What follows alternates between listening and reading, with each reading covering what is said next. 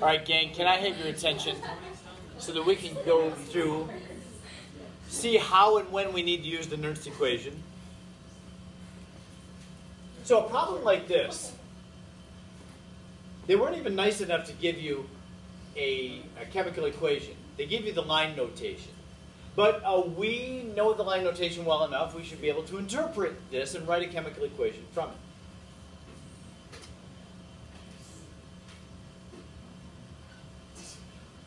Remember, the line notation is not the same thing as a chemical equation.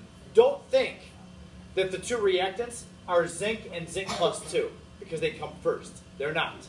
What are the two reactants in this reaction? Yes, uh, because remember, this double line separates the anode from the cathode. And within each compartment, you're given the reactants and the products. So zinc is a reactant, zinc plus 2 is a product. Copper is a reactant, then copper, uh, sorry, copper plus 2 is a reactant, and then copper metal is a product. So yeah, in this reaction, we have something being oxidized, that's over here, something being reduced, that's over here, and we'll have to put those two together. So the overall reaction is like this, Zn plus Cu plus 2 yields uh, Zn plus 2, and then copper.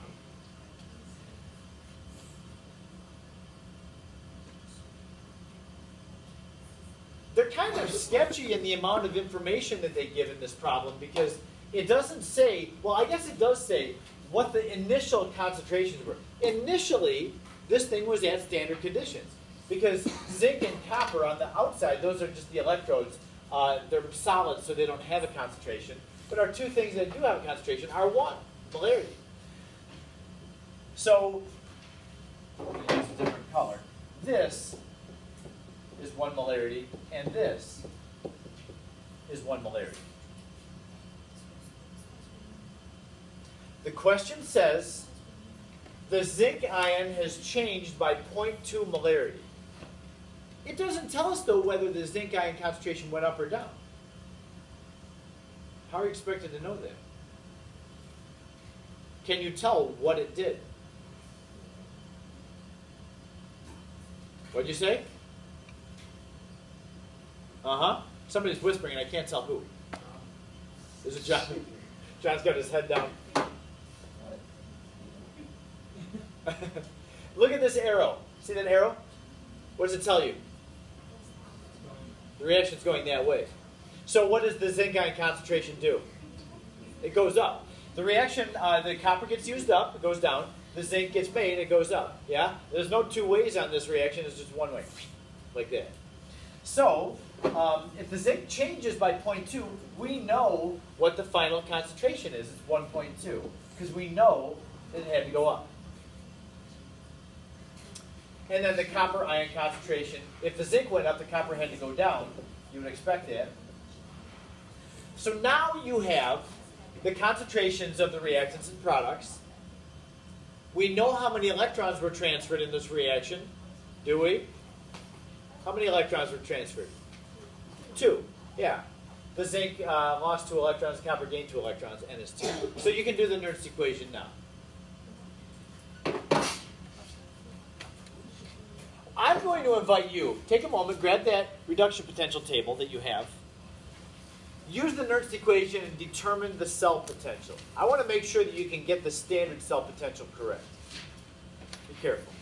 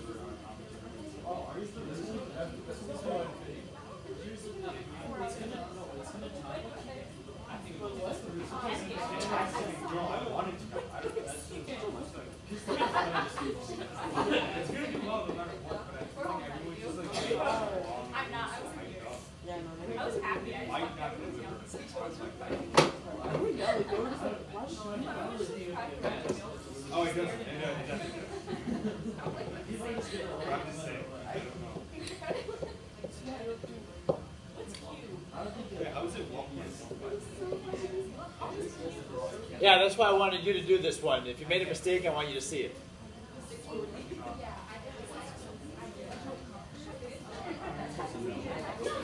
Can you, gang, can you come up with the cell potential when it's standard as 1.1 volts? Now, the reason I want you to do this, there are, I think, three half reactions that have copper in them. You need to make sure you use the right one. That's the, the most common mistake uh, with this problem is looking up the wrong reduction of copper. It's copper plus 2 yields copper neutral. Now I know one of the lines has copper plus 2 yields copper plus 1. Be careful. That's not right.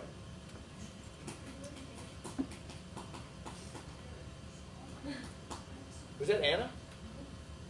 Are you okay, Anna? okay, okay. All right, so anyway, this is the Nernst equation, and we're going to just plug everything we know into it. This should be enough to get us what this term is. We're trying to find the cell potential uh, for this reaction after it has occurred. It has occurred for a while. So the standard cell potential was 1.10. That's what it was initially. You can see up here, we were at standard conditions at the beginning. So it was kicking off with a voltage of uh, 1.10. But now that it is about 20% done, that's how I got the 20% done because it, it changed by 0.2 out of 1. So now what is the voltage? 0.0591 over n, which is 2, times the log of Q, which is products over reactants. 1.20 over 0.8. Right there. You remember Q? We find it the same way as we find K. But Q changes constantly in a reaction because the concentrations of everything are changing.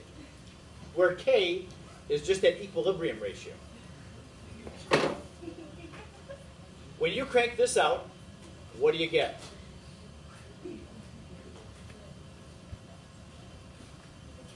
It's actually a little bit of a bummer um, because when it was at the beginning, it had a voltage of 1.10, and now that it's 20% done, what is the voltage?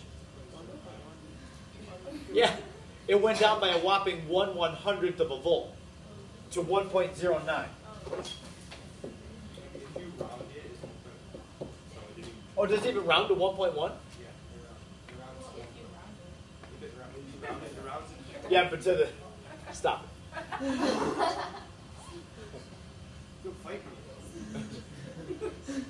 No, I'm not fighting. Not. Yeah, okay. I'll fight for you.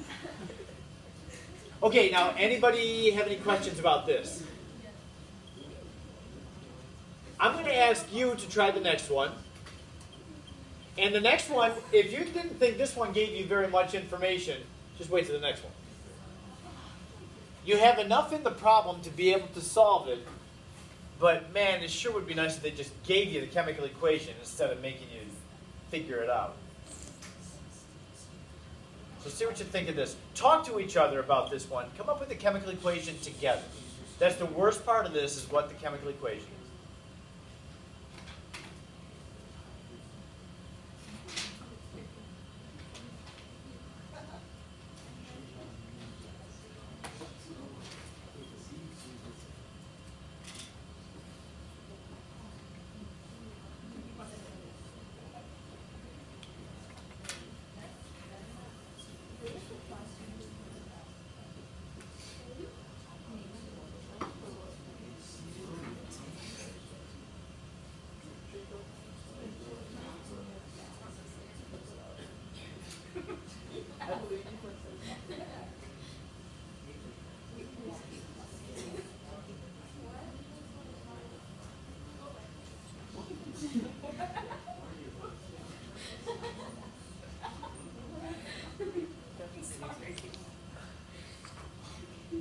I do want to at least tell you this. I'm, I'm encouraging you to do this on your own, but this is so different. The word, the three words, copper metal electrode. What do you mean by that? What they mean is you've got a, a copper compartment, uh, and by far the most common form of copper is Cu plus two. So what they're saying here, this is the copper electrode. It's copper ions changing, it's reducing into copper metal.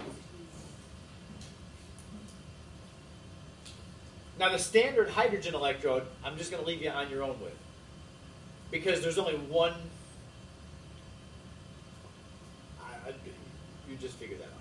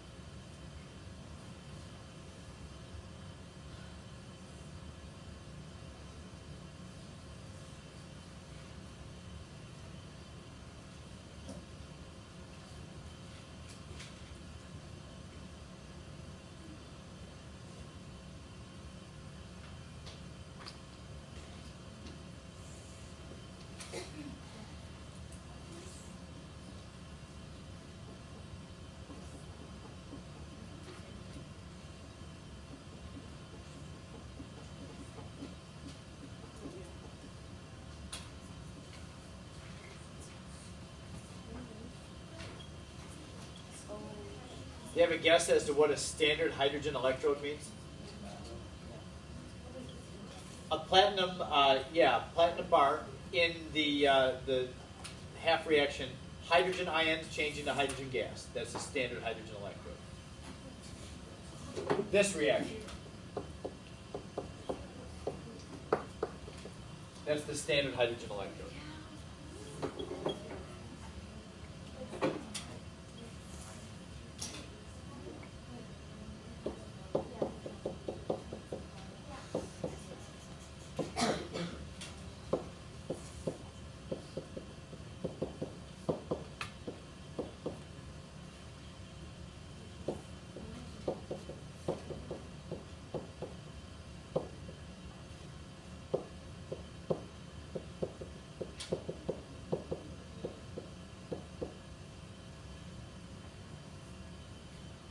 Yeah, that's what we're working